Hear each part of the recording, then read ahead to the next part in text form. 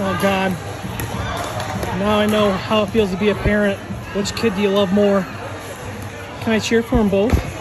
Please?